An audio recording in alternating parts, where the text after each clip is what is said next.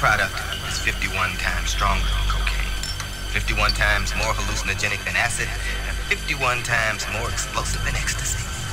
It's like getting a personal visit from God.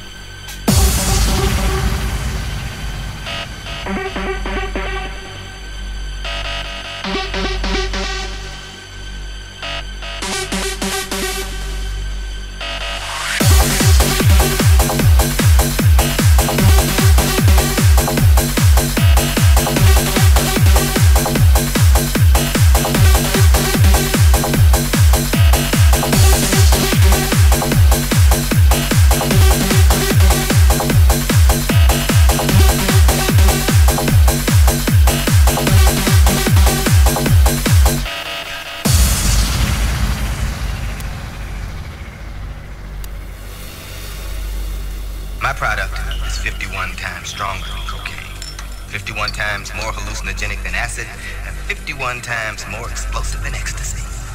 It's like getting a personal visit from God.